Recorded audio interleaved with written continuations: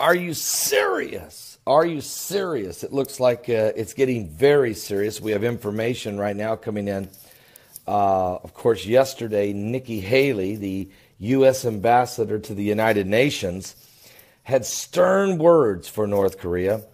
According to the headlines at the Crusader Journal, the U.S. envoy says North Korea's leader is begging for war as the United Nations uh, organization, of course, begins to consider new sanctions. Matter of fact, according to reports, the United States today are saying that the countries trading with North Korea were aiding its dangerous nuclear intentions as the United Nations Security Council continues to review new tough sanctions and to isolate the regime and showed signs of planning more missile tests.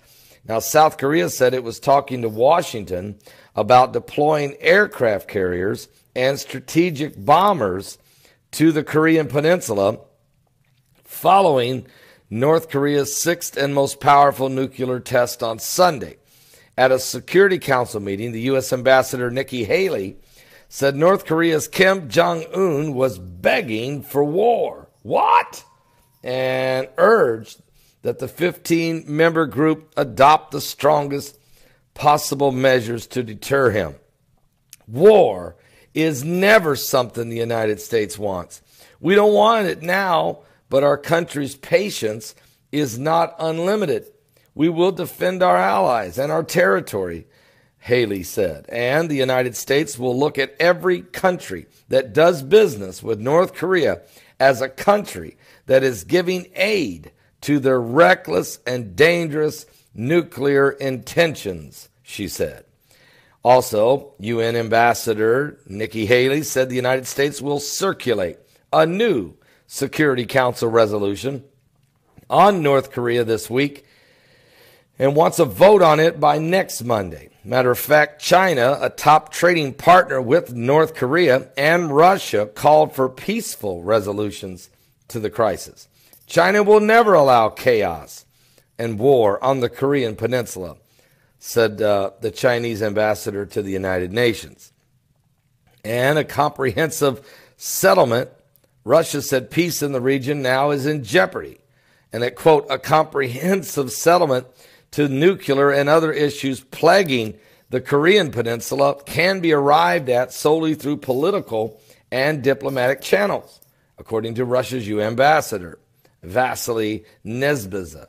But North Korea has been under UN sanctions, folks, since 2006 over its ballistic missile and nuclear programs. And typically, China and Russia only view a test of a long range missile or a nuclear weapon as a trigger for further possible UN sanctions.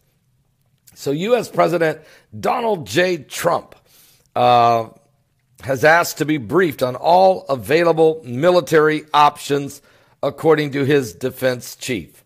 And officials said that activity around missile launch sites suggests North Korea is planning more missile tests.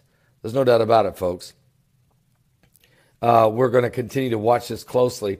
Now, we do have some inside information that says a couple different people.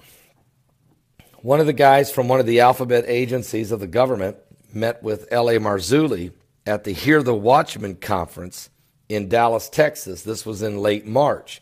And he told Marzulli, and Marzulli's went on the record to tell this. He told Marzulli that there will be war and that next war will be with North Korea. Now, uh, another gentleman called me from Texas, and he had some information from sources that are very reliable. So, word on the street is this there will be, or if, if there's going to be war, not that there will be, but if there is going to be war, it will be after the Winter Olympics, which are scheduled in Seoul, South Korea in February of 2018. So we're in the ramping up period. We're in the diplomatic, exhausting all diplomatic efforts. Kim Jong Un is, you know, ignoring all options. He's going forward with testing his hydrogen bombs and missiles. So it's as if both sides know It is inevitable. Let's pray to God it doesn't happen, though, just because the, the alphabet guy from one of the major uh, agencies of the government, he is, I think he's meaning this. If there's going to be a war, it will be with North Korea. Let's hope that's what he meant. But one thing's for sure we're living in dangerous times. We are in the last days. If you're not right with God, I want you to consider that North Korea has 800,000 artillery shells, rockets, and missiles that they can start firing at Seoul, South Korea right now within four minutes. And because of that leverage over Seoul, South Korea's head, any talk of the United States just going in and eliminating this problem is not that simple. There would be thousands, hundreds of thousands of people killed on both sides in the Korean Peninsula. And then Japan is also concerned, and China and Russia. So there's a lot on the table here. And we've got 28,000 uh, men and women in uniform in Seoul, South Korea, in, in our military base there. This is a whole lot more complicated. And then there's millions of civilians.